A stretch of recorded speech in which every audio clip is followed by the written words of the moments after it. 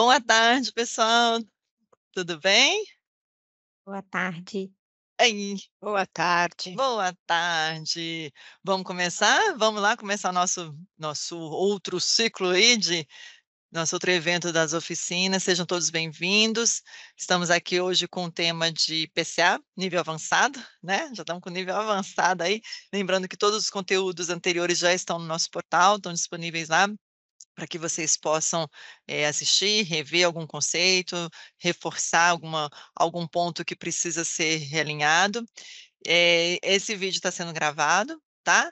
A gente posteriormente carrega no nosso portal, como tem sido de praxe aí, como vocês já conhecem o movimento. Hoje a, a instrutora será a Vanessa. Vanessa, seja bem-vinda. Estamos aqui também nos bastidores, estão a Andréia, a Camila, o Diego, a Michele. Obrigada a presença de todos também aqui. E o material que a Vanessa vai utilizar hoje já está compartilhado, tá? Já está compartilhado no portal e ela também vai disponibilizar aqui o QR Code, né, Vanessa? No comecinho, disponibilizar o QR Code para quem quiser ter acesso por, pelo QR Code, já conseguir também fazer isso no início da aula, tá bom? É, obrigada, Vanessa, por gentileza, esteja Oi. entre nós. Oi, boa tarde, seja bem-vinda. Já tinha colocado aí, tenho 10 minutos ou um pouquinho mais, tinha deixado aquele slide já disponível ah, aí. Ótimo, eu entrei agora mesmo, estou com... Então, ótimo, já está já tá todo mundo com material em mãos, isso que é importante. Então, isso. obrigada. tinha viu? entrado aí já estava com material. Mas se você quiser mostrar aí para o pessoal, Paty, onde eles pegam, acho que pode ser uma boa vamos? também. Então, então vamos lá, vamos rapidão, né? Enquanto a gente vai esperando também todo mundo entrar na sala. Bom, então no portal, como, como vocês já conhecem, no portal compras.sp.gov.br, né, na, na, no menu capacitação, clicando no menu capacitação aqui, a gente cai na página onde estão todas as nossas informações, todo o nosso conteúdo aí das iniciativas de treinamento, nós estamos mantendo todos aqui, e se formos especificamente para a aula de hoje, aqui no fluxo das contratações, né, ao clicar na caixinha aqui do PCA, tá, o conteúdo aparece abaixo, e aqui o tema de hoje, oficina PCA 2025 avançado, né? Então, assim que terminar, que a gente conseguir carregar, gerar o vídeo no YouTube e tudo mais, acredito que para o começo da semana que vem a gente já consiga subir aqui para o portal, tá? E o vídeo vai estar similar a esse aqui, com um íconezinho na frente, assim, um, para é, sinalizar que é um vídeo, e vai estar aqui próximo da, do material que já está disponível, tá bem? É isso. Vanessa, obrigada. Eu que agradeço. Então, vamos lá. E aí, pessoal, espero que estejam todos bem. Vou compartilhar aqui a minha tela. Pati pessoal, por favor, fiquem à vontade aí para me interromper, tá? Ok, já compartilhou, tá? Tá, estão vendo aí, né? Estamos. Então, pessoal, estamos aqui, nosso material trivial, né, de sempre. Hoje, dia 11 do 4, e hoje nós vamos trazer alguns conceitos complementares acerca do PCA. O que, que acontece? Quando a gente teve a nossa semana do PCA, e acredito que boa parte de vocês estavam aqui nessa época, é, a gente deixou algumas coisas. É, eu, na verdade, eu deixei alguns conteúdos um pouco mais densos para falar depois, porque não adiantava trazer essa essa informação naquele momento, porque ali a gente estava falando de conceitos mais é, incipientes, mais iniciais. E se eu trouxesse alguns conceitos um pouco mais complexos naquele momento, talvez a gente ia confundir a cabeça e não ia conseguir é, elucidar algumas dúvidas iniciais. Então, por isso que a gente deu esse tempinho para vocês irem se adaptando. E, por incrível que pareça, Algumas dúvidas estão surgindo exatamente essa semana. Até é, hoje a gente teve, acho que o Diego também recebeu a mesma mensagem que eu, de um usuário que mandou hoje para a gente assim: é, Vanessa, como que eu faço para conseguir mandar um DFD da minha UASG para outra UASG. Por quê? Eu preciso fazer o planejamento, só que quem recebe o planejamento da minha UASG não é a minha UASG, é uma outra UASG. Então, hoje a gente vai passar por esses assuntos, que são assuntos um pouco mais densos, mas que vocês precisavam daquele conteúdo inicial sobre o PCA, sobre o que é o DFD, sobre o que é a área requisitante, tudo aquilo que a gente já viu, para a gente poder entrar nesse assunto tá bom?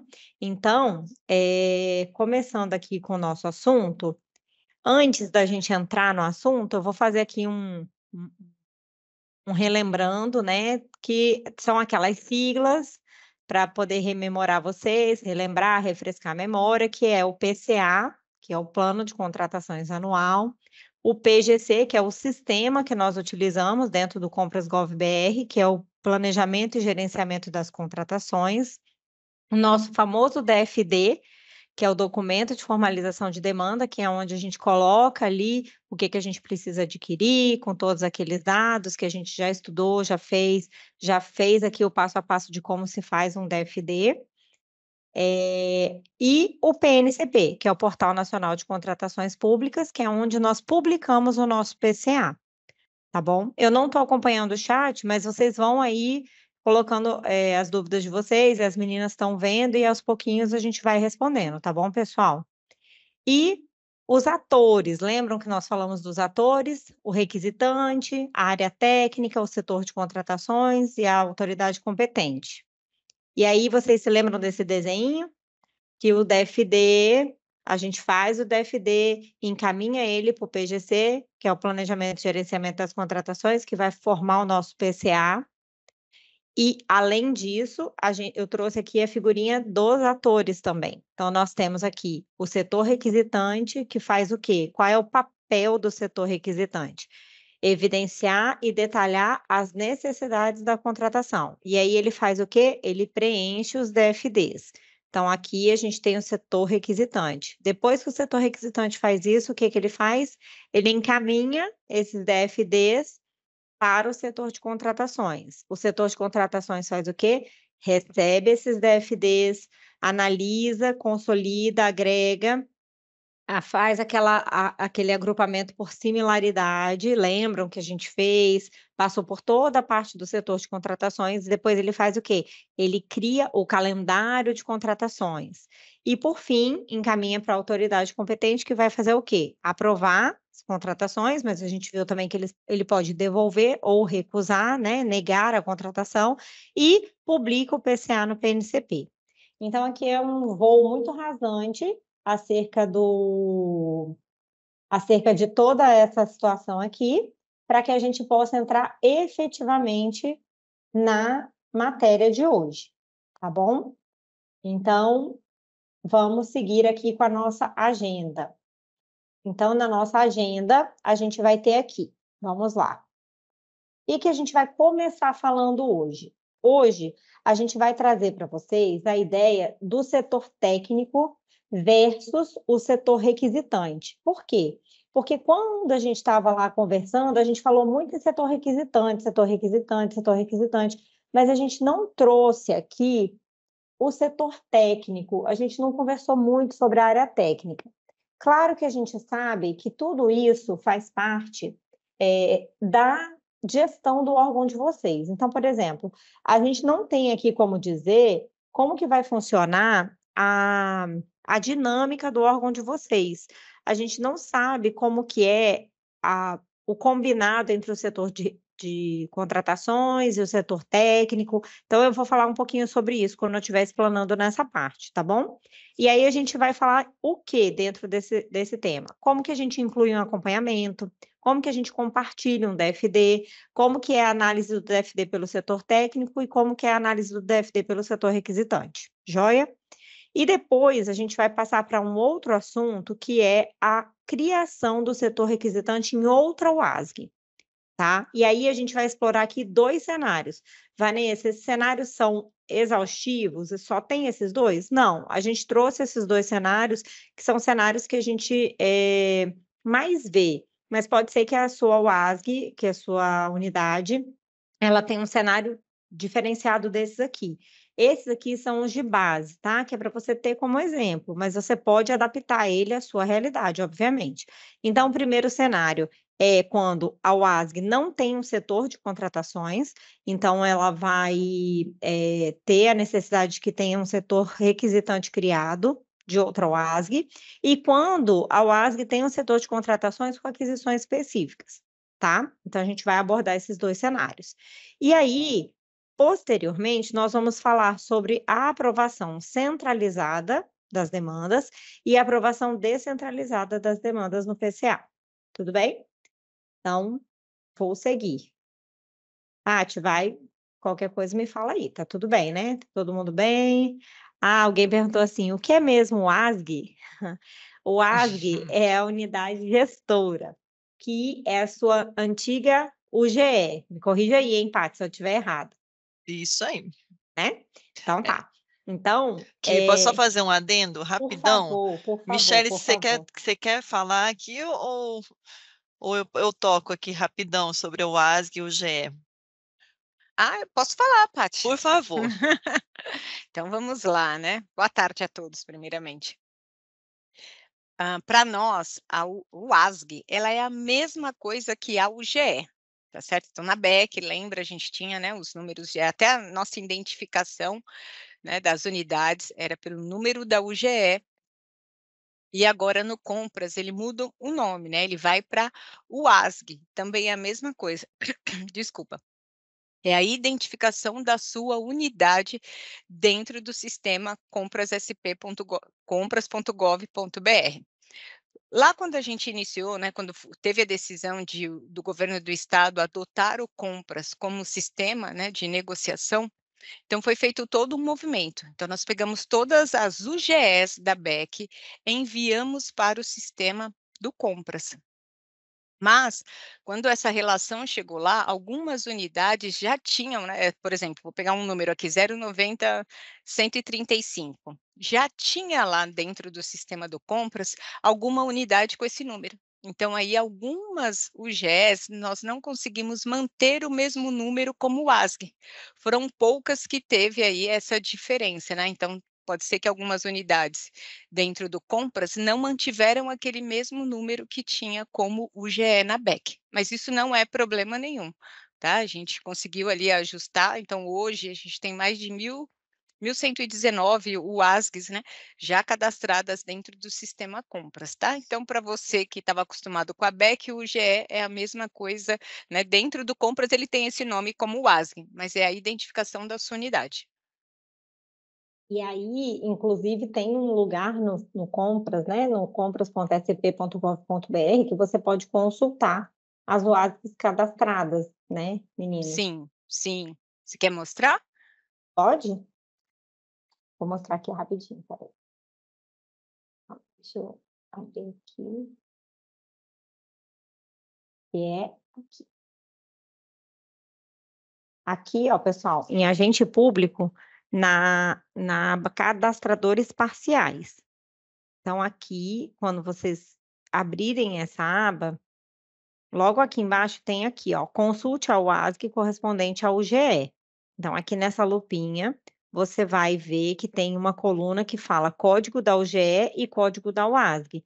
Então, se você tem dúvida qual é o código da sua UASG, você sabe o código da sua UGE, você pode vir aqui consultar e vice-versa. Beleza? Pode, pode. Beleza. Falei certo, gente? Certinho. Tá. Estou ficando fera, meu filho. Beleza, então, seguindo aqui a nossa, a nossa questão do setor técnico versus setor requisitante. Então, é, gente, como eu estava comentando com vocês, o que, que acontece? Quando vocês têm aí a possibilidade de atribuir setores técnicos na unidade de vocês, vou até fechar aqui para vocês, para conversar com vocês. Como que funciona? Às vezes, dentro dos setores de vocês, das unidades de vocês, vocês têm setores específicos que analisam os DFDs. E isso é uma questão de gestão. É, então, aqui estou trazendo um exemplo de como pode funcionar, mas isso não significa que tenha que ser assim. É só uma explanação, é só um exemplo de como que isso poderia funcionar na sua instituição, tá bom? Então, vamos supor que na SGGD, a Patrícia, toda vez que ela for pedir é, material de. Eu, eu, vou dar um exemplo de informática, que é o que está na minha cabeça, tá? Mas toda vez que ela for pedir eh, material de informática, ela precisa avisar a Michelle. Então, o setor da Michelle é o setor de informática. Aí, ela, toda vez que ela for fazer o material, ela, fazer pedido de informática, ela tem que pedir para a Michelle avaliar o DFD. Por quê? Porque a Michelle ela é do setor de informática específico e é a pessoa que sabe tudo de TI dentro da organização. Então, o que, que ela vai fazer? Ela vai criar o DFD e ela vai compartilhar esse DFD com a Michelle para que a Michelle faça a análise deste DFD. Entende? Então, essa análise do setor requisitante, ela é feita através do compartilhamento do DFD tá certo? Então, isso são diretrizes feitas pela organização de vocês. Então, por exemplo, eu venho de um instituto, como vocês já sabem, muitos de vocês já sabem. E lá no instituto, a gente tinha, por exemplo, para comprar condicionador de ar, a gente precisava mandar para a prefeitura universitária, que era um, um, um departamento dentro do instituto que fazia análise de metragem do ambiente, se aquele condicionador de ar que eu estava pedindo fazia jus ao tamanho da sala que eu estava querendo utilizar. Então, por exemplo, eu não tenho noção se um ar-condicionado de 9 mil BTUs atende o tamanho da sala que eu queria colocar aquele ar-condicionado. Mas eles, como tinham engenheiros lá e pessoas responsáveis que tinham essa noção, eles iam lá, mediam a sala, altura versus largura, nananã, faziam toda uma análise para poder aprovar a compra daquele ar-condicionado para o tamanho da sala que eu queria. Entendeu?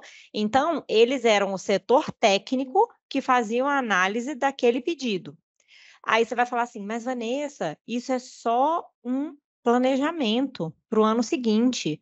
Aí eu vou falar para você, Ok, eu concordo com você que talvez essa análise técnica muito apurada ainda não está no momento. Mas esse setor, ele é um setor que tem a responsabilidade de saber quantos condicionadores de ar estão previstos para o ano que vem, quantos condicionadores de ar normalmente são comprados todos os anos. Por quê? Porque eles são o setor, são o setor que fazem a análise de compras de condicionadores de ar todos os anos. Então, eles, eu estou dando um exemplo que eles eram esse setor que faziam também esse tipo de de acurácia. Mas eles são o setor que vão dizer assim: ah, tá, eu tenho hoje aqui a demanda de tantos condicionadores de ar. Eles vão juntar e vão fazer o, o, parecer. Ok, pode pedir. Não, estão é, pedindo aqui 800 condicionadores de ar, mas a universidade só compra 400 anos. Então, eles vão fazer a distribuição, vão dizer, não, esses DFDs aqui, por exemplo, não estão aprovados, esses aqui estão. Então, esse tipo de coisa são, é uma gestão que vai ser feita dentro do seu órgão. Tudo bem, gente? Ficou entendido isso aí? Deixa eu ver vocês aqui. Tá todo mundo quieto, né? Então tá bom. Vou acreditar que vocês entenderam o exemplo que eu dei, tá?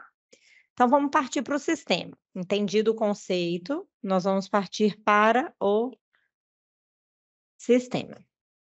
Eu tenho aqui a área técnica. Quem é a área técnica? Ela é o agente, a unidade, com conhecimento técnico operacional sobre o objeto demandado, beleza? E a gente volta lá no conceito do requisitante, que é quem é responsável por identificar a necessidade de requerer a contratação. Porém, no parágrafo primeiro, ele diz que o requisitante e a área técnica podem ser a mesma pessoa, não tem problema. Desde que, se o requisitante for o mesmo, a mesma pessoa que a área técnica, ele detenha o conhecimento técnico operacional do objeto a ser demandado. Então, a gente tem aqui duas possibilidades para a criação do DFD. Ou eu tenho a área técnica mais a área requisitante, perdão, mais a área técnica, ou eu tenho a área técnica como área requisitante. Beleza? Então, eu vou fazer esse exemplo aqui mais é, complexo, que é a área, área requisitante mais área técnica, por quê? Porque quando ele nasce da área técnica, ele já vai pôr o parecer direto lá no próprio DFD. Então, por exemplo, eu tenho no meu órgão um setor que é o almoxarifado central. E no almoxarifado central, ele é responsável por pedir todos os materiais de expediente, limpeza é, e afins, tá? Então, ele já é área técnica. Por quê? Porque ele já tem todo o parecer, todo o know-how de saber quantos, é, quantos é, materiais de expediente ele pede todo ano, quanto material de limpeza ele pede todo ano. Então, nesse sentido, ele não precisa de um parecer de uma área técnica, porque ele em si já é a área requisitante e a área técnica, beleza? Então, vamos seguir. Como que se inclui um acompanhamento? Como que funciona? Aqui, dentro do DFD, depois que eu criei meu DFD, meu DFD já está criado, eu já fiz toda aquela parte que nós já vimos lá na nossa semana do PCA. Eu vou vir aqui no item 5 e vou incluir um acompanhamento. Eu venho aqui, clico em adicionar, e aqui eu vou colocar prezado setor técnico. Segue para análise do DFD para aquisição de insumos de informática. Qualquer dúvida, entrar em contato com fulano no setor XYZ, no telefone tal. Atenciosamente, fulano de tal.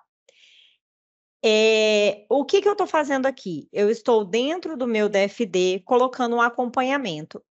Se assemelha muito a um despacho, por exemplo, tá? A um bate-papo dentro do DFD. Esse acompanhamento ele vai ser incluído eu vou colocar ele aqui. E aí, eu só chamo a atenção de vocês para dizer o seguinte, ó, o acompanhamento ele não é passível de exclusão, tá? Uma vez que você colocou o acompanhamento, ele vai seguir no seu processo. Então, para vocês ficarem cientes de que colocou o acompanhamento, ele vai ficar ali, é, é registrado e pronto. E aí, uma outra observação que é, você vai ter que fazer o quê? Incluir o acompanhamento, você vai compartilhar o DFD com o setor técnico. Então, você vai chegar aqui nesse bonequinho aqui em cima, vai clicar nele e vai compartilhar com a, o usuário, CPF do usuário. Colocou aqui, compartilhou, vai colocar, o, vai aparecer o nome completo do usuário, CPF, e ele vai ser editor, necessariamente. Porque se ele for leitor, ele não tem como é, é, fazer a, a edição, incluir acompanhamento, ele não tem como fazer nada disso, tá bom? Então, vocês vão compartilhar para ele como editor. Compartilhou, eu compartilhei, mandei lá para o Diego. O Diego vai ser meu setor técnico. Alteração do compartilhamento incluída. Concluída, beleza. Fiz, mandei para o meu setor, para o meu é, setor técnico. Só que aí, esse é uma observação. Não mandem o DFD. Por quê? Qual é o sentido de você mandar o seu DFD para o seu setor de contratações, uma vez que o setor de contratações não vai ter o parecer do, da análise técnica ainda? Nenhum. Concordam comigo? Eu vou mandar o meu DFD, sendo que ele está pendente de análise técnica, então você deixa ele lá na sua caixinha em rascunho ainda, porque ele é um DFD em rascunho. Você ainda precisa do parecer técnico desse DFD. Então, acalme-se, não mande o seu DFD e espera que a análise, o setor técnico vai responder. Beleza. O setor técnico vai analisar o DFD. Como que vai aparecer para ele? Ele vai vir aqui em editar, vai clicar em acompanhamento, vai ver o seu acompanhamento aqui embaixo e vai colocar manifesto parecer técnico favorável por parte da área técnica quanto às aquisições constantes nesse DFD. Aqui, gente, é só um exemplo, tá? Mas ele poderia colocar aqui várias coisas. Dizer que é, esse DFD precisa de instalação, esse DFD precisa de um, um DFD complementar de serviço de instalação, por exemplo. Lembram que eu dei para vocês um exemplo das cadeiras odontológicas que foram compradas e que ficaram lá guardadas porque não tinha verba nem serviço de instalação para poder colocar elas para funcionar? Então, aqui eu poderia estar comprando algum objeto, algum equipamento que demandasse, por exemplo, um serviço de instalação um, um, algo assim. Lembram da liquefatora, que eu dei também esse exemplo, falando que precisava o quê? Quebrar a parede, porque ela não passava nem pela janela e não entrava nem pela porta. Então, ele poderia falar o seguinte: olha, para você comprar esse equipamento nessas dimensões, a gente precisa de um caminhão para poder içar esse, esse equipamento, a gente precisa de uma obra para poder fazer uma janela maior, ou então você vai ter que mudar a sala onde você fica. Por quê? Porque esse equipamento não tem como entrar nem pela escada, nem subindo pela escada e nem pela janela. Então a gente precisa pensar ou numa mudança de andar, de sala, ou numa obra para poder aumentar essa janela. Ou seja, você não tem como comprar o seu equipamento se você não fizer um outro DFD prevendo o seu serviço de instalação, o seu serviço de aluguel do caminhão, entendeu? Então é para isso que o setor técnico funciona. É para analisar o que você está planejando para o seu ano seguinte e te dizer se está tudo bem ou se você precisa de algo para complementar. Tá certo? E aí ele vai colocar o parecer dele e vai incluir. Beleza. Tem uma pergunta, aproveitando, você está Claro. falando do setor técnico, tem uma pergunta, Vanessa, assim, e quando a UASG não tem setor técnico? Tem. Aí é uma questão de gestão, né? Eu, eu, Vanessa, não tenho como te dar essa resposta, porque o que que acontece? Se você tem uma demanda que carece de uma análise, você precisa ter um setor que faça essa análise, entende? Tipo assim, como que eu vou, eu vou te falar, tipo, eu, eu, eu correria para as montanhas. Tipo assim, que que eu posso, que que eu, como que eu posso te falar? Pensa, como que você vai eh, resolver e sanar isso? Vai ter que conversar com o seu gestor. Você vai ter que falar, gestor, eu preciso de alguém para me avalizar sobre isso aqui. Tipo assim, se você é daquela equipe, né, que você mesmo que bate o escanteio, aí você corre lá para cabecear e depois você corre para poder defender o gol. Você, tipo assim, é você mesmo que faz todas as partes. E aí você precisa de alguém para poder te, te dar um, um aval sobre aquilo. Eu, particularmente, assim, eu, eu não, não sei se Diego tiver aí, tiver alguma ideia mais. Fala aí, Diego, você sempre tem uma ideia. Você, você é do equipe, né? Porque eu venho de um, de, de um lugar, gente, que todo mundo tinha sua casinha. Aí Diego fala que eu sou de uma instituição rica, ele fica me, zoando, sabe? Ele É fala assim, verdade. cara, pelo amor de Deus, lá você tinha uma pessoa para fazer cada coisa. Aí quando eu tenho umas perguntas assim, eu fico meio tipo, como você não tem um setor técnico? Então fala aí, Diego, já passou por isso? Já, com certeza. Então, olha só, a primeira coisa é que o próprio decreto ele estabelece que setor técnico é uma pessoa que tem conhece pessoa ou equipe, né, que tem os conhecimentos técnico-operacionais sobre aquilo. Nem sempre você vai ter que ter. Aí, ó, viu, Vanessa, está pedindo o endereço de onde você veio. Nem sempre você vai ter uma, uma equipe instituída. Eu venho de um órgão que não tinha, por exemplo, equipe de engenharia. Não tinha. E como é que você vai fazer para fazer uma, uma demanda sobre reforma de alguma coisa? Alguém tem que, tem que fazer, alguém tem que dar alguma posição, né? E aí você vai pegar uma pessoa com expertise, com, com, com alguma coisa ali que vai te ajudar a seguir em frente com essa demanda. Então, sempre tem no, no órgão aquela pessoa, né, ou aquele, aquela, aquele setor que é responsável por analisar algum tipo de situação. É, por exemplo, você está instalação de, de bebedor, de, de, de purificador de água. Então, você vai adquirir esses equipamentos, vai precisar, na hora que você estiver fazendo seu pedido para aquisição desses equipamentos, fazer uma análise se você tem ponto de água, né, se você tem ponto de energia para poder ligar, aonde que você vai instalar esses negócios. E aí você vai ter uma equipe responsável por isso, que seria a equipe técnica. Muitas vezes, quem vai ser o demandante ali vai ser, sei lá, o setor de setor de, de logística, mas quem vai analisar aonde que esses bebedouros vão estar, se tem capacidade, se não tem, seria o setor de engenharia, por exemplo. Então, é, ou não tem setor de engenharia, mas tem lá o setor de administração predial, responsável lá pela, pela administração do prédio. E aí você vai ter sempre alguém ali que vai tomar conta, né, de algum tipo de objeto específico, tá? Então, e às vezes é você mesmo, né? No meu órgão lá, muitas vezes era eu mesmo. Eu que era o cara que pedia o bebedouro e que analisava se tinha ponto e onde que ia ficar e até sair do outro lado, tá? Aí você é acaba tendo conhecimento técnico operacional adquirido ali na hora mesmo, né? E aí você é. mesmo vai lá e assina e, e, e vamos que vamos. Eduardo falou que perto da unidade dele eu tô no céu. Se eu tô no céu, imagina a Vanessa, então.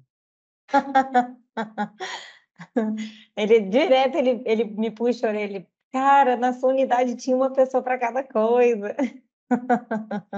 É, Mas vamos lá, falou, gente. A gente de vez em quando eu. Poderia... É, de vez em quando eu fico meio assim, mas é porque assim, é, realmente é, são poucas pessoas, mas realmente lá era tudo bem dividido, assim, tinha uma unidade de, de engenharia e tudo, mas é porque a universidade acaba sendo muito grande, né? Então acaba pulverizando muito. Mas é isso, se não, não tiver uma unidade técnica, que não precisa ser um, uma unidade constituída, mas pode ser uma pessoa, pode ser, é, por exemplo, se é de um hospital, pode ser alguém com, a, com conhecimento técnico sobre aquele, aquele tipo de material.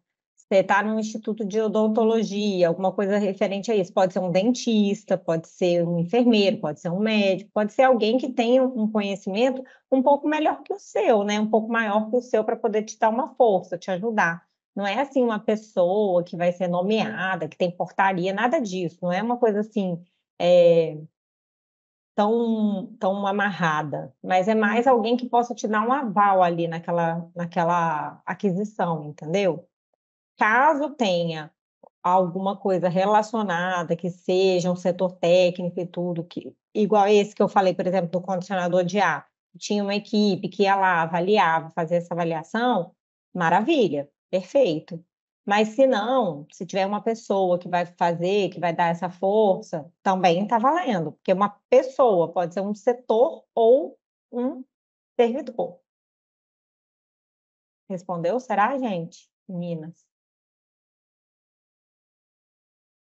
Creio que sim, não houve manifestação contrária. Tá. Sim, respondeu. Então tá.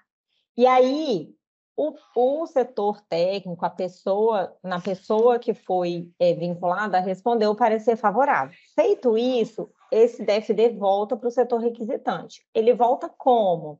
Tanto na ida quanto na volta, porque o meu print não, não apareceu o balãozinho na ida, agora que eu estava vendo aqui. Ele aparece esse balãozinho aqui, dizendo que, que tem uma nova manifestação, que tem um novo acompanhamento. Todas as vezes que, que o DFD de vocês tiver um acompanhamento, até ele ser vinculado numa contratação, sempre vai aparecer esse balãozinho. Então, vocês podem ir observando e acompanhando o DFD de vocês. E aí vocês vão ver que tem um balãozinho, vocês vão falar, opa, tem um acompanhamento novo na área. Aí vocês vão ver, ó, eu mandei, o Diego viu, deu de acordo, falar, oh, então agora sim, agora eu vou enviar meu DFD. E aí, beleza, mandou o DFD, vida que segue, tudo certo. Beleza? Então, esse é o primeiro bloco, gente. É, teoricamente, encerramos esse assunto aqui. Se alguém tiver alguma dúvida, senão a gente vai seguir para a criação de um setor requisitante, requisitante em outra UASG.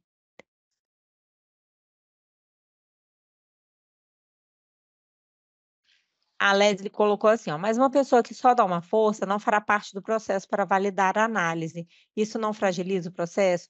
Então, Leslie, é, no caso, o que, que acontece? Ela vai, ela vai fazer uma. Quando eu falo assim, dar uma força, não é uma questão de que ela não tem um compromisso de fazer essa análise, entendeu? É uma questão de que é, não é uma equipe inteira que vai estar tá voltada para aquilo ali. Por exemplo, se você tem um setor próprio que só faz aquisição de TI, que você também é de universidade, né? Igual a mim.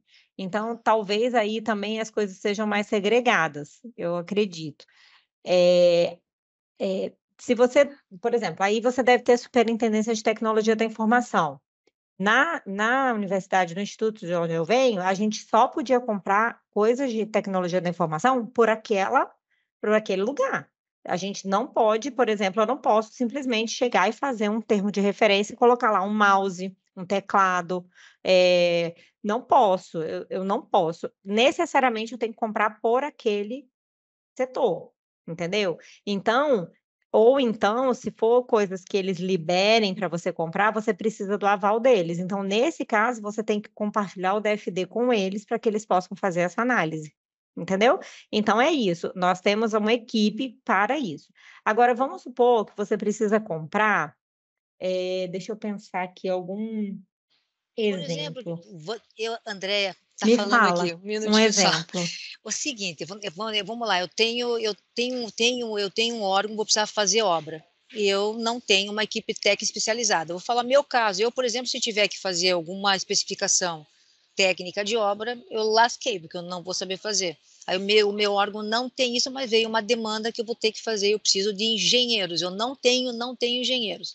Eu posso, inclusive, contratar engenheiros, ter, assim, terceirizar um, um serviço de, esse para ser uma área requisitante, uma área te- eh, técnica especializada. No mesmo caso que tem modulando com a parte de contrato, que eu posso ter um apoio de contrato, contratar né, para fiscalização, caso ele precise fa fazer alguma coisa, você deu um exemplo bom de TI, se, quem especifica TI tem uma área própria de contratação de equipamento de, de TIC, né? Então, tem a pessoa especializada. Se quando, quando são obras, né, então, ele tem que ter uma pessoa que entenda é, de especificar no seu, no, seu, no seu PCA. Então, se ele não tem uma pessoa que entenda tecnicamente no órgão, o órgão não pode ter um apoio simplista, ele vai ter que contratar uma pessoa especializada. Isso pode ser uma consultoria, como já colocaram, pode ser uma contratação pelo 73, por inexibilidade que agora pode, né, preponderantemente intelectual, caso não tenha, mas isso não, agora assim, não é uma coisa obrigatória, inclusive o decreto lá, ele fala, fala que posso ter é, a pessoa técnica e requisitante pode ser a mesma, né, então, a depender de um objeto que seja, não seja muito complexo, aí você não vai precisar de uma área altamente especializada. Agora, dependendo do objeto mais, mais complexo, talvez você tenha, naquele momento ali, de fazer uma contratação para que a pessoa dê um apoio, né? Se fosse eu para fazer engenharia, estamos lascados, porque eu ia fazer pessimamente mal. Não sei se eu consegui te responder. Sim, acredito que sim. Acho que Ela que agradeceu. Leslie também. Uhum. Acho que respondeu. Ah, ela falou aqui, ó, ela falou assim, ó, eu estou falando me referindo de quem não tem equipe. O decreto diz que, olha, eu não sei quem que perguntou, se desculpe aqui, tomei, é a Leslie, né? É o seguinte, olha, o decreto não diz que você tem que ter equipe, inclusive ele tem um dispositivo dizendo assim, olha, a área técnica e requisitante não quer dizer que eu tenha que ter uma estrutura nova. Pode ser a mesma pessoa sendo um e outro, né? Se dependendo do objeto, ele não tem necessariamente que ter um setor especializado. O decreto não exige isso, tá? Ele só separou os atores, porque a depender de um objeto, se eu vou comprar água, né, área técnica, né, não vai precisar. Se eu vou comprar área de TIC, como a Vanessa bem trouxe aqui, por óbvio, você vai precisar de uma pessoa especializada. Eu, por exemplo, se fosse eu com Vanessa, a gente ia ter que se bater muito, porque a gente não ia saber especificar direitinho, né, Vanessa? Então, a gente tinha que ter um apoio técnico especializado. Tá? É a questão disso. Então, é só para você assim, é, não tem, você não tem obrigatoriedade pelo decreto de ter uma equipe. Você pode ter pessoas com conhecimento técnico sobre um assunto e você até remanejar naquele momento para aquela contratação, remanejar essa pessoa para te dar esse apoio aí. Tá bom? Beleza. Acho que deu, né? Deu, deu. Desculpa inter interferir aí, viu, Vanessa? Então, bora lá? Podemos seguir?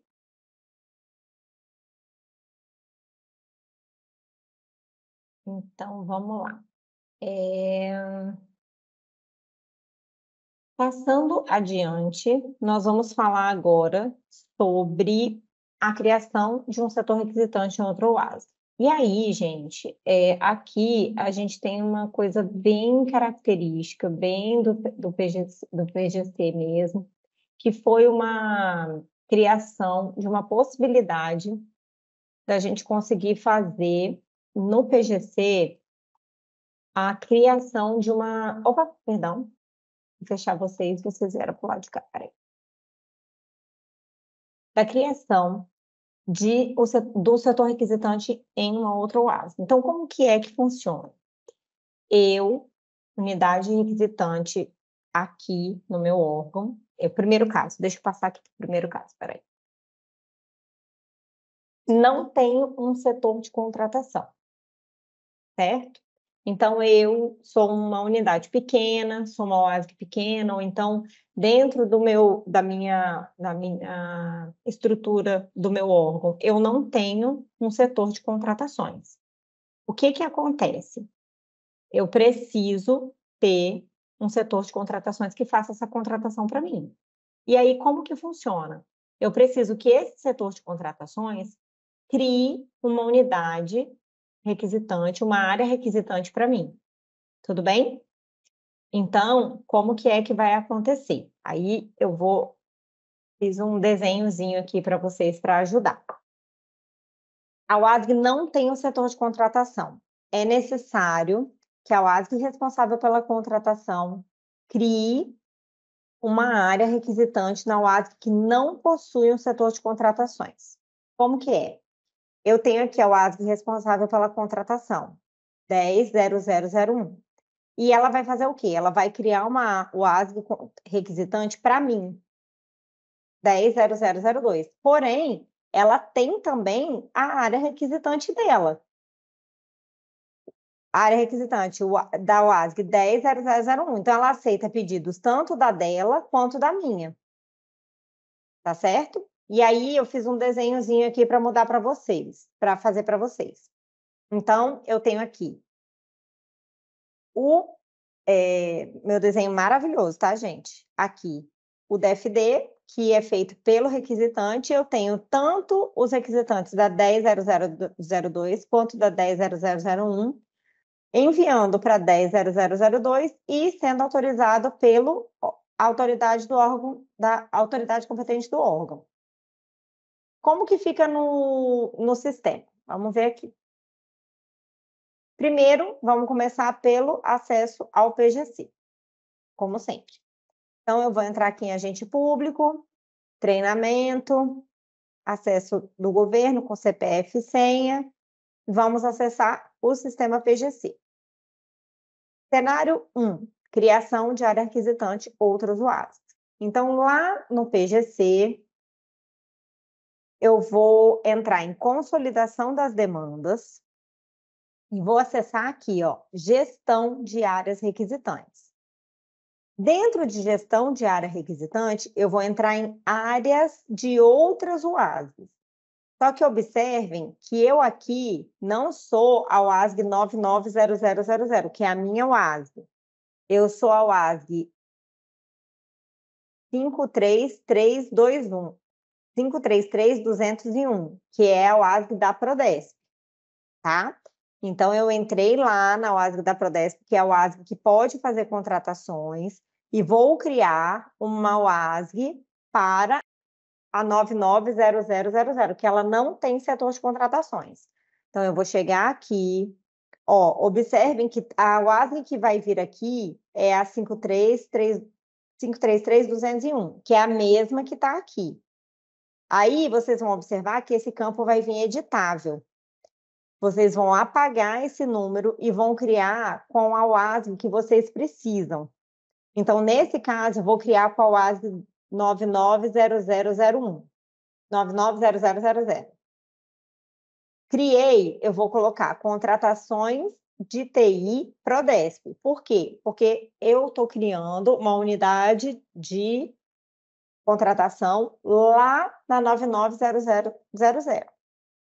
Beleza? Coloquei aqui o número da UASE, coloquei o nome da área requisitante e eu vou criar essa área requisitante. Então, essa área requisitante, ela sai com o número da UASG, com o nome da área requisitante, e eu posso ou não colocar a questão da distribuição orçamentária, tá? Ela é facultativa, eu nem coloquei aqui não, deixei sem. Beleza? Criei. Quando eu for confeccionar o DFD, lembra que eu falei para vocês que a WASG 990000 não tem é, unidade requisitante? Então, ela vai vir aqui e vai tentar criar um DFD. quando ela tentar criar um DFD, lembram disso aqui, ó, a UASG que originou esse documento não possui área requisitantes cadastradas, ela não tem nenhuma área requisitante. Ela vai ter que entrar em contato com o setor que tem essa unidade requisitante, essa unidade de contratação e vai falar, olha, eu preciso que você crie uma unidade requisitante para mim. A única diferença é que, ao invés dela ser da própria UASG dela, ela é de uma outra UASG, porque na UASG dela não possui unidade requisitante. Tudo bem? Então, ela vai vai criar. Quando ela criar, o que, que vai acontecer aqui na área requisitante? Quando ela abrir aqui a área requisitante, ela vai encontrar contratações de TI Prodesp. Quando ela selecionar, o que, que vai acontecer? Aqui, ó, mesmo ela sendo da UASG 990000, a UASG de destino do DFD vai ser a 533201, porque foi essa UASG que criou a unidade de contratações para ela. Tudo bem? Então, é assim que se cria a UASG, a, a, a, área de contratações de uma outra UASG. E aí? Todo mundo comigo? todo mundo em silêncio, prestando atenção. Bom, vou seguir. Agora, a UASG, ela tem setor de contratações. Então, é até o exemplo do, do menino que mandou mensagem para a gente hoje, que o Diego já me falou o nome dele e eu já esqueci. Acho que é o Felipe do FDE. Ele mandou mensagem assim: Vanessa, é o seguinte, eu preciso mandar o meu DFD para outro WASG, porque é lá que eles vão fazer o planejamento, não é na minha WASG. A minha WASG também faz planejamento, mas eu preciso mandar o meu DFD para outro WASG. Como que eu faço? Então, é nesse caso aqui. A WASG, ela tem setor de contratações, mas ela tem setor, um setor de contratações também com aquisições específicas. Então, ela tem o setor de contratações dela e ela tem uma UASG que tem um setor de contratações específicas. Aí, o que, que vai acontecer? Ela tem o setor requisitante e ela tem um outro setor de contratações que vai fazer essas aquisições específicas. E aí tem a autoridade competente do órgão e da UASG. Vamos, vamos seguir. Órgão ou entidade, órgão UASG. Aí, aqui, ó, o setor de contratações o setor, a UASG mandando para um setor de contratações e tem a autoridade competente do órgão da entidade aprovando. Mesmo raciocínio, só que aqui a gente tem a mesma UASG mandando. Vamos lá. Acessar o PSGC, coloquei aqui ambiente de treinamento, acessei o sistema PGC. Criação da área requisitante de outras UASG. Eu vou vir aqui, Continuo lá na Prodesp, tá? O Prodesp agora vai criar um setor específico dentro da SGGD para pedido de insumos de informática. Então, não é que agora a SGGD não tem setor de contratações. A SGGD tem setor de contratações, mas a Prodesp vai criar um setor de contratações específico dentro da SGGD só para pedir pedidos de informática. Então, beleza. Ela vem aqui em setor de consolidação de demanda, gestão de áreas, áreas de outras OASGs. Lembrando que aqui é 533201, aqui é a Prodesp. Ela vai colocar a OASG da SGD, vai colocar contratações de DI Prodesp e vai criar. Criei a unidade requisitante lá na SGGD. Como que fica lá na OASG da SGGD? Como é que fica essa criação dessa unidade requisitante? Ela cria lá dentro da área da minha UASG. Tá vendo aqui? 990000, contratações de TI da Prodesp. Tá aqui. Então, a Prodesp já tinha Centro de Desenvolvimento, Coordenadoria de Compras Eletrônicas, Diretoria de Administração e Finanças, Departamento de Cadastro, ela já tinha todas essas unidades cadastradas. E tem mais uma unidade que agora foi cadastrada pela Prodesp. Tá certo? E aí, uma coisa importante. Se eu já tiver uma unidade cadastrada com algum nome, por exemplo, Departamento de Gestão de Qualidade, e, os, e, e lá na Prodesp eu tentar cadastrar com o mesmo nome, aqui, ó, lá na Prodesp, eu chegar aqui e falar que eu quero cadastrar na 990000 com o mesmo nome, o sistema informa que já existe uma área requisitante cadastrada com esse nome, tá bom? Então, o sistema faz essa curar, se você não consegue cadastrar com o mesmo nome, a mesma unidade, tudo bem? Então, independente de você estar tá tentando cadastrar em outra WASG ou na sua WASG, você não consegue se tiver o mesmo nome. Feito isso, a gente vai para a confecção do TFD. Da mesma forma, se eu for pedir no setor criado pela Prodesp, contratações de TI Prodesp, ele vai me mandar diretamente para o ASV 533201. Se eu escolher Departamento de Gestão de Qualidade, ele vai me mandar para o ASV 990000. Então, o sistema ele vai selecionar a ASV de acordo com o setor requisitante. Tudo bem, gente? Vocês estão muito quietos. Estou aflita. Me deem, é, me deem um alô. Não, vocês estão muito não quietos. Tem nenhum ou comentário. Vocês, ou vocês não estão prestando atenção, ou todo mundo já sabia. Estão assimilando, entendi. Mas é isso, assim, se vocês não viveram ainda essa experiência, talvez vocês estão olhando e pensando, tipo, tá, beleza. Mas para quem veio só para saber isso, ficou claro? Felipe, se manifeste. Gustavo, se manifeste, que eram vocês que estavam me perguntando isso hoje de manhã. Tá? Então, assim, é isso. Vocês precisam cadastrar, vocês precisam fazer um PCA para ser aprovado para outra unidade. Vocês vão pedir para que essa unidade que vocês precisam mandar o DFD criem uma unidade de requisitante, uma área requisitante para vocês mandarem. Tudo bem? Fechou? Tá. Beleza. Tudo bem, Leslie. Não faz parte da vivência na USP. Gustavo já está testando. Então tá. Beleza, gente. Fico feliz. Fico feliz, Paty, porque se não tem muita pergunta, então é um sinal de que estamos caminhando. A galera já Sim. assistiu as primeiras, as primeiras aulas, já está indo. Beleza, estou feliz, gente, estou feliz, muito feliz, sério mesmo, de coração. Bacana. Então, agora a gente vai falar da aprovação do PCA. Lembram que lá na nossa aulinha eu falei para vocês sobre o PCA autor e o PCA autor G? Essa questão da gente colocar, fazer PCA de uma WASG em outra WASG, isso reflete também na aprovação do PCA, tá? Então, se entende direito, esses itens não entram no PCA do órgão que fará a compra efetivamente. Entram, entram, porque é assim, eu faço o DFD. Quando eu mandar, eu vou mandar para a WASG requisitante. E essa WASG que vai fazer o calendário, essa WASG que vai fazer tudo. E ela que vai formar o calendário de contratações e a demanda.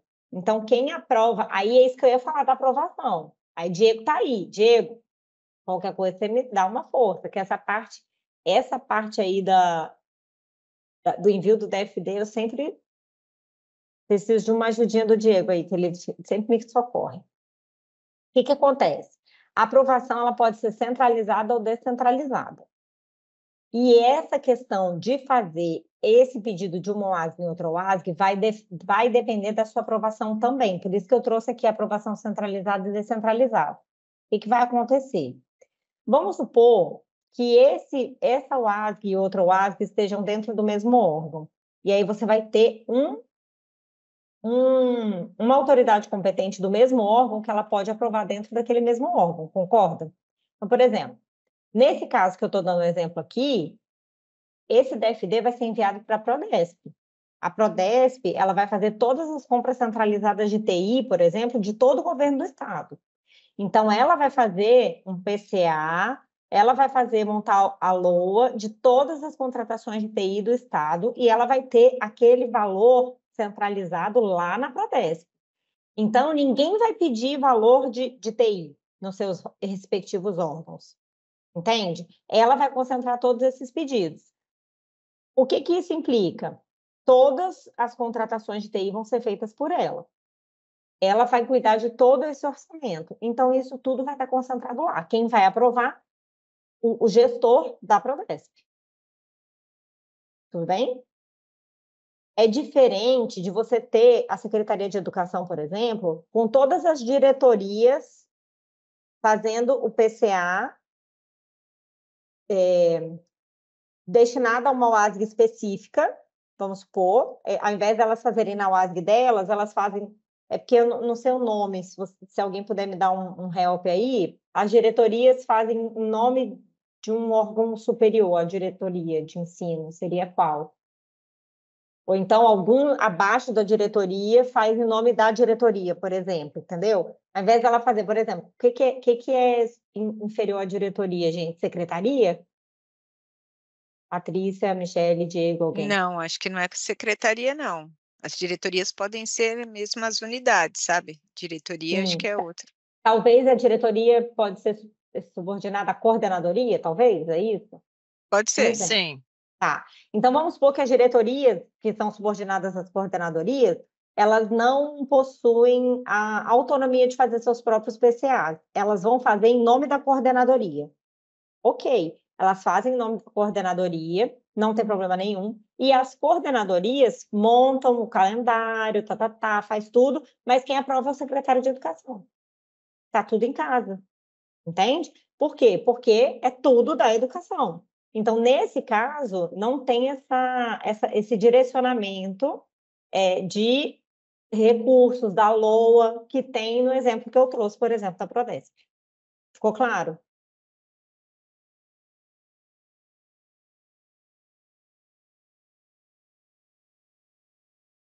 Beleza. E aí, eu trouxe a figurinha aqui da aprovação centralizada e descentralizada que aí traz exatamente aqui, ó, várias demandas para setores de contratações diversos aprovadas só pelo secretário do órgão. Então, o secretário do órgão centraliza tudo nele e só ele aprova. E aí, lá naquele perfil que eu mostrei para vocês, quando ele tem o PCA autor G, ele vem aqui e seleciona as OASGs que ele quer aprovar. Tá? Então, ele, como secretário e com o PCA autor G, ele tem a, a probabilidade, possibilidade, perdão, de escolher a UASG que ele quer aprovar. Beleza? Beleza. A aprovação descentralizada, ela funciona da seguinte forma. Cada setor de contratação passa para o seu diretor. Eu coloquei diretor aqui como uma autoridade intermediária. Talvez no seu órgão não se chame diretor, se chame presidente, se chame superintendente, tá? Eh, o diretor aqui ele só representa uma figura intermediária entre a, a, o, o setor de contratações e o secretário e a autoridade máxima do seu órgão, tudo bem? Então ele delega quem são as pessoas que podem fazer essa aprovação e aí nessa delegação essas pessoas aprovam dos seus respectivos é, das suas respectivas UASG, então, das suas UASGs. Então, cada é, um responsável pela sua UASG faz a sua própria aprovação. E aí ele tem um perfil de PCA autor. Então, não tem aquela caixinha para escolher aqui o, o, a UASG e ele só vê o da sua própria UASG. Tudo bem? Lembrando que Aqui, quando a compra é aprovada, vem aprovada por, no caso, se fosse eu, Vanessa Moreira Ventura e o meu CPF. Entendeu? Então, você pode ver se quem aprovou o seu não era autorizado para aprovar o seu. Por quê? Porque, às vezes, a pessoa está é, com perfil de PCA autor G e não podia, e acaba aprovando o que não era da sua própria UASG. Porque lembrando que o número da contratação é formado pelo número da UASG, tracinho, o número da compra barra ano. Então, quando você vai lá no PCA Autor G e coloca o número da UASG, ele filtra pelo número da UASG. Então, a pessoa pode filtrar só para a UASG dela. Mas quem é que vai definir qual é o PCA autor G, autor? É a, a instituição, entendeu? São vocês aí, o órgão, com o, a pessoa responsável, né? É, com o gestor que vai definir. É o gestor que vai dizer: aqui eu quero que seja centralizado, aqui eu quero fazer tudo, aqui eu quero que seja delegado. Então, tudo isso vai ser feito de acordo com o órgão de vocês, tá bom? Não é aqui uma forma que a gente está falando para que vocês façam bem perfil de autor ou de autor G. É só, são duas formas que o sistema permite que a aprovação seja feita. Beleza? E o que eu tinha para trazer para vocês é isso. Tá bom. Obrigada. Viu? Foi menos menos doloroso hoje. Era só complementar mesmo. Então vamos lá, vamos ver as perguntas que ainda eu, eu consegui localizar apenas uma. Se alguém quiser complementar colocar aí, por gentileza, né? É, como fica, para mim parece usuário desconhecido, como fica a aprovação no caso de uma secretaria que tem várias UGS e mais de uma UO? Bem, é a, a mesma, segue o mesmo raciocínio. Se você tem é, na sua organização, se o seu secretário, se a sua autoridade máxima quer que seja centralizada, ela vai aprovar. Se ela quer que seja descentralizada, ela vai definir quem vai aprovar. Se, se cada OASG vai ter a sua aprovação, se ela vai ter é, pessoas responsáveis para aprovar determinadas OASGs, determinados núcleos. E aí o perfil vai ser dado de acordo com o que for determinado pelo seu gestor, entende?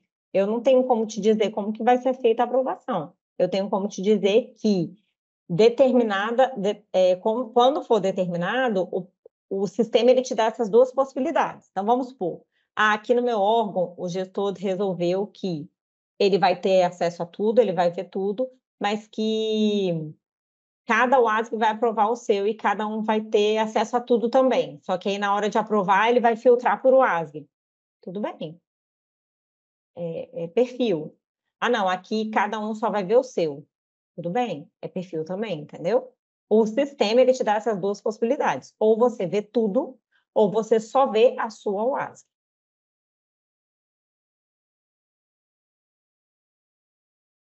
Você está acompanhando aí? O próximo vai ser do Fábio, tá? Não, não tô, não, mas eu vou abrir. Ele pergunta se um mesmo DFD pode ser usado na montagem de vários processos. Aí ele Não, exemplifica. Não. Na verdade, o que que acontece? O DFD, ele é dividido por classe lá quando chega na... Esqueci o nome agora do, do quadradinho. Mas assim, você manda o DFD, se ele tiver mais de uma classe, Consolidação das demandas? consolidação das demandas. Obrigada, Paty. Ele vai para cada classe lá. Então, vamos supor, você tem cinco classes, aí ele vai para cinco classes, entendeu? E aí você consegue formar os processos para cada classe daquela. Então, não sei se foi muito isso que você quis perguntar, mas, por exemplo, se você tem um DFD que está com 10 itens, 10 quantidades de ar- armário. Você não consegue colocar um armário no processo, um armário no outro processo, outro no outro, entendeu? Você só consegue fazer por classe. Você não consegue destrinchar o DFD colocando um pouquinho em cada um, só se forem classes diferentes. Aí você Eu acho que é o exemplo dele é em classes diferentes, que ele exemplifica assim, um único DFD, DFD que contenha itens de material de escritório, peças de reposição, produtos de limpeza, peças de informática. Aí fala em montar, montar um processo para cada tipo de material. E todos os processos vão utilizar o mesmo DFD, se existe algum impedimento. Olha, Diego que adora esses, esses DFD assim. Ele e Renato amam. Bem, não existe, mas você não quer fazer um DFD para cada? É isso? Porque, pensa, quando você for. né, Diego? Você adora? Adora. É do seu Não, coração, né? Esses DFDs. Que aí, quando É. você for colocar o objeto lá, de- descrição sucinta do objeto, você vai colocar assim, é, itens afins correlatos e etc. É, Itens para atender as demandas do setor, com todos os tipos de misturas e, e etc. Então, assim, de repente você É. pode tentar fazer um para cada, não? Tem vários problemas em relação a isso. Primeiro, né? É, o prazo de necessidade desse negócio. É tudo mesmo? Então, o exemplo que foi dado aí, deixa eu até procurar aqui. Ao mesmo tempo, estava precisando de itens de Itens, material de escritório, É. peças de reposição, produtos de limpeza, peças de informática, tudo para reposição de estoque de almoxarifado. E você precisa de tudo ao mesmo tempo, então a primeira coisa é essa, porque o seu DFD você coloca uma data, né? E essa data ela vai ser encaminhada depois para consolidação, para virar uma data de futura de contratação. Segundo, a justificativa de necessidade dessa é a mesma para tudo também. Então, quando você vai fazer um DFD, você vai usar a mesma justificativa da necessidade para todos eles. Então, terceiro, né? Os objetos são específicos e, e a- as quantidades vão variar. Tudo, tudo varia. Então, você, você fazer, né? Ou você deixar o requisitante é, seguir para uma linha nesse, nesse raciocínio, nesse sentido, não sei se vale a pena, assim, fazer até o PGC, entende? Porque qual que é o sentido? Ele vai pedir, então, né? Tudo para 1 de janeiro, e aí você vai entregar em março, em abril, em julho, em agosto. Então, é um planejamento que ele fica é, completamente esvaziado da sua natureza. É, é a minha visão em relação a esse tipo de demanda, que é uma demanda agrega tudo, né? Então, eu não, eu não acho que... E outra, você também depois, esse, esse setor, de, esse requisitante, ele não vai conseguir acompanhar o andamento desse DFD, porque vai, cada parte do DFD está num lugar diferente. Quando que ele vai entregar, efetivamente, aquela necessidade? Vai ficar entregando em várias contratações, tudo, tudo desvirtua, sabe, ao longo do, do restante da cadeia aí da, dessa contratação, desde o planejamento até o final da execução. Mas pode, né? Não tem. É, a demanda da preguiça, é isso mesmo, a Ângela falou certinho. É por isso, só por isso que eu acho que não, que não é bom, entendeu? Diego, É, Diego, vou, vou, vou, ter, vou, vou, corro- vou corroborar, tá?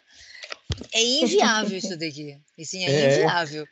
É quase Tá. assim eu comprar banana, limpol, né? Tudo para, entendeu? Não tem como. É, é só pegar os elementos que compõem o DFD, ele se torna inviável no seu, no seu planejamento. E quando eles falam em agregação de DFDs, como a Vanessa bem explicou, o que, que é agregação de DFD?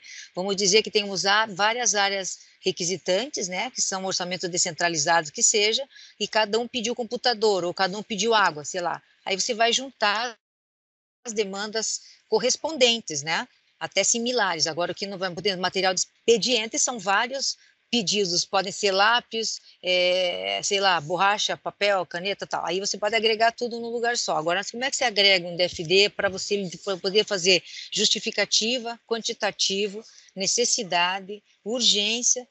Tem vários eh, requisitos que não se conversam, não que você aí é, é quase que se fosse um documento que não é um DFD, porque o documento de formalização de demanda é o primeiro documento que vai startar seu processo de licitação. Isso quer dizer que aparentemente dessa junção ali ele ficaria, parece um item único, né? Tudo junto. Eu vou, vou, um fornecedor vai vender material de escritório, peça de reposição, produto de limpeza, informática, almoxarifado, água, né? E guardanapo. Pronto. Então, assim, então, então, o DFD, a natureza do documento de formação de demanda, ele é um documento inaugural, né? Ele é o inaugural, seja no seu PCA, ou seja no seu processo de dispensa, ou, ine, ou inexigibilidade.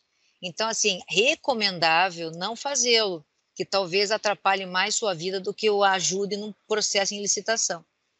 Tá? Desculpe aí te complementar, mas eu só queria te dar uma, um reforço aí, porque é, acho que você falou bem tudo, e então a agregação de demanda são agregação de demanda dos objetos que eu posso de fazer junto, para que você não, não gaste recurso público e não tenha um fracionamento de despesa. Né? Então é mais mais ou menos isso. É só para você assim observar isso. Nem controle de, de, sim, de fracionamento você vai conseguir de fazer aqui. Perfeito. Tá? É, sim. É, teve uma pergunta aqui que fala o seguinte, até já respondi, que foi é, imaginando que na opção descentralizada o autor G delegue, então as UASCs vão ter definido a autoridade responsável por aprovar o DFD. Pergunto, no final, há necessidade de uma aprovação do PCA do órgão pela autoridade maior? Não. Quando ele delega, o próprio autor G já aprova e já publica no PNCP.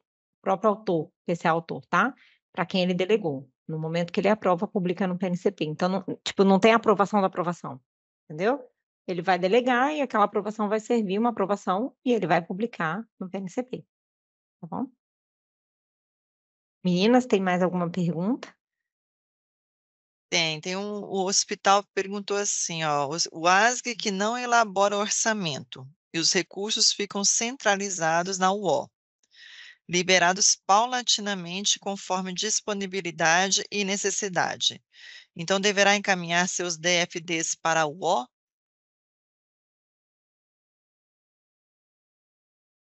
Isso aí eu posso tentar responder. A UO é a unidade orçamentária, né? Que é a dona do dinheiro. Sim, sim.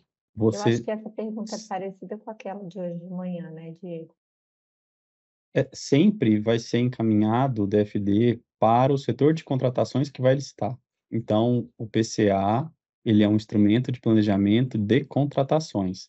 Ele tem, ele serve de subsídio para a LOA, né? Tem esse, esse, esse objetivo. Então, ele vai ser encaminhado também para o setor, depois que fechou o PCA, ideal é que ele seja encaminhado para o setor financeiro, lá para falar, ó, oh, tá vendo aqui, que eu preciso de grana para o ano que vem é isso aqui. Quando você for passar o planejamento, né, de orçamento do ano que vem, lá para frente, para cima, para o secretário, para a Casa Civil, etc., é, para a Secretaria de Planejamento, é, considere isso daqui. Mas o, o DFD, ele é enviado sempre todas as vezes para o setor de contratações. Então, se a unidade orçamentária for também setor de contratações, né, às vezes compõe ali no mesmo, no mesmo órgão, beleza. Se não, se te, você tem uma unidade orçamentária que é totalmente à parte, que é separada acima, né, às vezes centralizada, e o seu setor de contratações é descentralizado, é uma unidade à parte, você vai mandar para o setor de contratações, sempre. O objetivo é o calendário do setor de contratações. É, inclusive, a gente estava vendo uma pergunta hoje um pouco parecida com essa, que falava assim: ah, mas é porque durante o ano a gente tem é, receitas extras e tudo. É, mesmo assim, a gente coloca no PCA? Tem que colocar, sempre colocar as demandas de vocês, porque elas vão subsidiar a lei orçamentária. Ainda que a lei orçamentária de vocês tenha é, uma uma demonstração de que vocês precisam de mais orçamento, mas isso vai estar tá lá na lei orçamentária. Vocês vão de demonstrar que o orçamento de vocês não é o suficiente para o que vocês precisam naquele ano, entendeu? E aí vocês têm aquela verba extra, enfim. Mas é, isso também é importante, né? Salientar, trazer para vocês. Boa. É, tem uma pergunta da Catarina que é o seguinte: terá que ser expedido algum decreto dentro de cada secretaria determinando a quem serão atribuídas as responsabilidades no PCA? Não, não tem regulamentação interna nesse sentido, mas também não é, não é proibido, né? Se tiver, mas não é decreto, seria uma portaria, né? Talvez uma portaria de designação e tudo. Depende do órgão, da gestão do órgão não é, não é obrigatório, não tem nenhum ato que, que obrigue isso, mas também não é proibido. Se o órgão tiver é, na, na gestão dele um, um, hábito, vamos supor que aquele órgão ele tenha por hábito sempre expedir atos regulamenta, regulamentatórios, regulamentativos, sei lá, e regulamentem essa questão, por exemplo, né? E, e for de praxe, não tem problema, pode fazer uma portaria, uma, uma, uma regulamentação, um ofício circular, enfim. Se for, se for de praxe do órgão, eu não vejo problema nenhum fazer, entendeu? Mas não é uma coisa assim, por exemplo, o decreto de PCA não estabeleceu que os órgãos devem emitir uma portaria fazendo assim, assim, assado, entendeu, Paty? Então, não tem Perfeito. uma obrigatoriedade legal, não. Mas também não, não tem nada que proíba. Legal, deixa eu ver se eu acho mais alguma aqui que não tenha sido ainda Gente, eu acho que nós passamos por todas as dúvidas. Tem uma aqui, ó. Boa tarde. Tem uma dúvida, mas não sobre a aula de hoje. Minha dúvida é sobre não lançar o PCA 2025, ah, um serviço que a princípio estava previsto para prorrogar até 2026, mas por motivos diversos a empresa não aceita prorrogar. Podemos fazer uma nova contratação em 2025? Deveríamos colocar esse serviço no PCA 2025, já que não, te, não, tem, não tínhamos certeza de prorrogação? Bem, eu entendo que é, eu estou no lugar certo? Acho que a gente respondeu essa não, né? Não, ainda não. É porque é uma, é uma pergunta antiga, eu acho, mas eu, eu entendo assim, pelo que eu entendi, você não sabe ainda se vai prorrogar. Aí você está com dúvida se você deve ou não lançar. Se você vai fazer uma nova contratação em 2025, você deve lançar. Agora, se você vai fazer só a prorrogação, aí não tem necessidade de fazer o lançamento, porque prorrogações não são lançadas no PCA. Não há uma proibição de lançamento de prorrogação no PCA, mas não é recomendado o lançamento de prorrogação, por quê? Porque prorrogações normalmente são lançadas pelo setor financeiro, porque ele já faz essa previsibilidade de lançamento dos contratos que serão prorrogados. E como o objetivo do PCA é é, um deles, né, um dos objetivos do PCA, é sinalizar o mercado fornecedor, o que, que acontece? Quando você lança uma prorrogação contratual no PCA, você não está lançando uma expectativa de contratação para sinalizar o mercado fornecedor. Então, a gente deixa aí as prorrogações por conta do setor financeiro, que já faz uma programação quando você lança. Primeiro que quando você lança sua contratação, você lança lá no valor total da aquisição daquele ano. Então, você vai lançar aquele. Ah, o, o fornecedor vai saber que tem uma contratação naquele ano, e as prorrogações vão ser lançadas pelo setor financeiro, que já faz uma programação de todas as prorrogações contratuais vigentes, né, que vão vir, e ele já lança ali para mandar para leitear o orçamento daquelas prorrogações.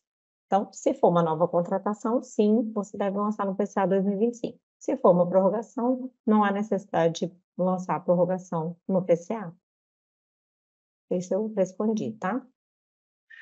A Lésia tinha perguntado lá em cima, desculpa, Lésia, eu achei que já tinha sido respondido. Quando um PCA for negado, a autoridade precisa justificar o motivo? Ah, então desculpa. Eu coloquei, sim, ele justifica, ele justifica na recusa e na devolução. Eu tinha respondido ela, acho que ela não. não então vamos retomar, por gentileza, Vanessa. Então, se um PCA for negado, a autoridade precisa justificar o motivo?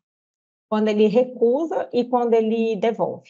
Nos dois, ele não é que ele precisa justificar, né? É difícil a gente falar assim que o gestor máximo do órgão tem que justificar alguma coisa. Ele pode simplesmente dizer, é, sei lá, contratação negada. E isso, ele vai ter um campo em que ele vai preencher algo. Agora, se ele vai realmente justificar, né? Eu, é, eu não sei se ele vai dizer assim, recuso porque eu acho que você não deve comprar por causa disso, disso e disso, mas ele tem um campo que ele vai preencher. Agora, ele pode simplesmente dizer, por conveniência oportunidade da administração, não vai comprar. Então, assim, mas ele tem um campo que ele preenche no sistema, sim. Tinha uma pergunta da Sochara Vanessa, aqui, ó. É, em momento posterior é possível editar o valor do orçamento destinado para as áreas requisitantes? É possível. Editar o valor do orçamento destinado para as áreas requisitantes? Você tem as janelas de edição. É, na, numa das nossas oficinas eu fiz até um quadrinho assim de quando você pode entrar para poder fazer essas edições. Eu não vou lembrar de cabeça agora as datas, mas você tem até junho para enviar, né? Maio, Se você final quiser, de maio. eu falo, Vanessa. Ah, eu Ó, quero. Primeira quinzena de maio para a área requisitante e a área técnica. Contratação, o setor de contratações, né? A autoridade competente. Primeira quinzena de julho. E aí a aprovação é no final de junho, né? Tá. E, de, e aquela janela de edição que tem? É de 15 de outubro a 15 de novembro, 15 de setembro a 15 de novembro. Eu não lembro agora de cabeça, entendeu? Ah, Mas esse aqui tem- é o período que eles têm que fazer, né? É isso. É, Tá. tem um períodozinho assim, que é, que é o período onde vocês podem editar esses valores, entendeu? Aí vocês vão poder editar, vão poder redimensionar. 15 Por de outubro a 15 de novembro, tá, Vanessa? Ah, obrigada. 15 de Tá, outubro a 15 de pronto. novembro. Aí vocês vão poder editar esse período, nesse período, tá? Tem uma outra pergunta aqui que fala assim: Gostaria de saber se, ao fazer o DFD para o PCA, contendo vários itens para aquisição, posso utilizar esse mesmo DFD mais tarde eh, para mais de uma licitação, pois, caso fracassado em algum item, preciso repetir a licitação. Pode sim. O que, que você vai fazer? Você vai pegar esse DFD, né? Que você. Mas isso é só na execução, tá, gente? A gente está falando agora de planejamento. Quando a gente for falar de execução, mais para frente um pouquinho, mais para quase no final do ano, que a gente vai ter uma outra semana do PCA agora com execução, aí a gente vai chegar nesse assunto. Mas você pode sim, você vai utilizar esse DFD, vai justificar que o DFD já está aprovado e tal, tal, tal, e vai utilizar para repetir os itens fracassados. Mas aí a gente chega lá, tá? Agora é só planejamento, não atropele, não passem o carro, a carroça na frente dos, dos bois.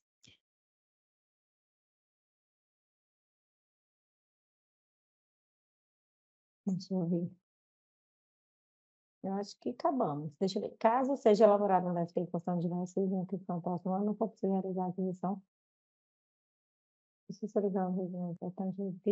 Então, olha só. Esse aqui, caso seja elaborado um DFD constando diversos itens e na aquisição de um próximo ano não for possível realizar a aquisição de tudo quanto foi solicitado, devido à insuficiência de recursos.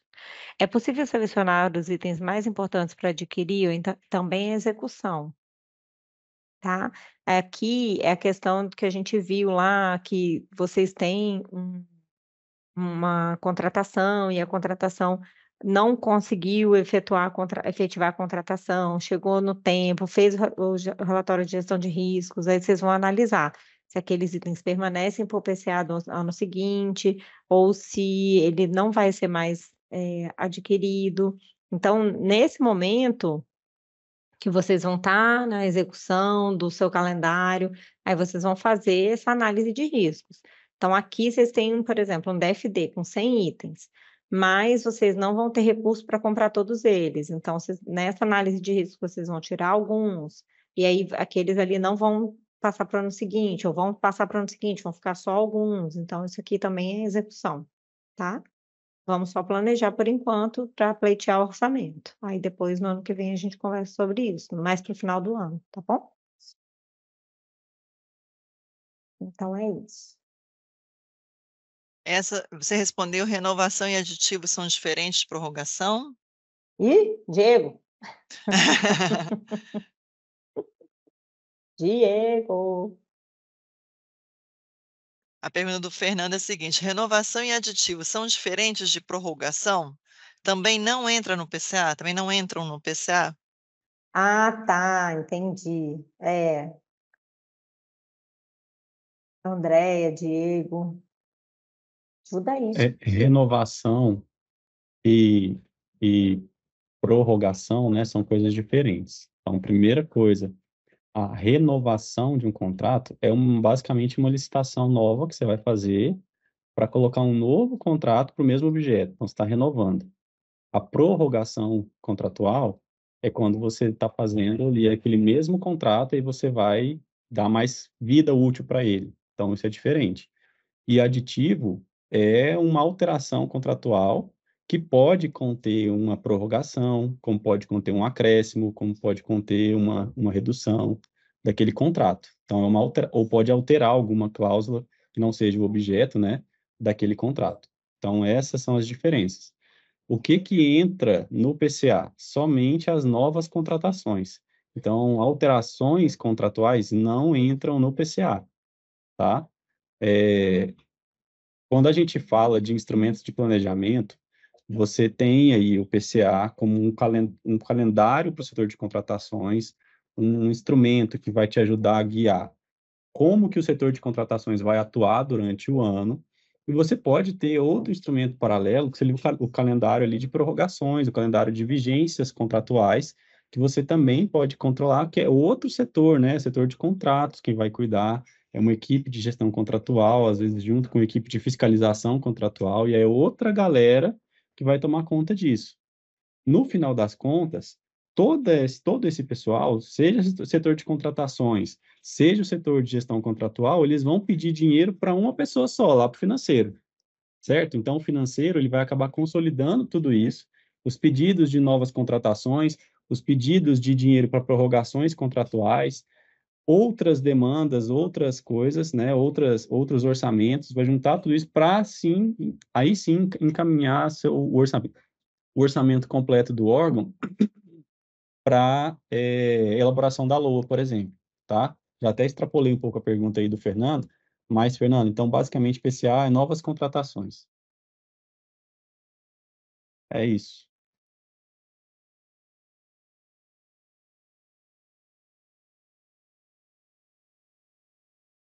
Beleza. E eu acho que Então, Maria respondeu, né? Sua pergunta também, que Maria fez um questionamento também sobre prorrogação.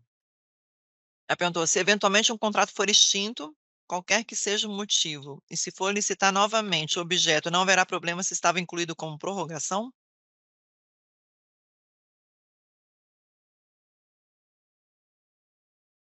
Eu não Vocês me ouviram? pergunta, não. Ah, tá, desculpa, eu fiquei com silêncio. Maria, deixa eu ler de novo.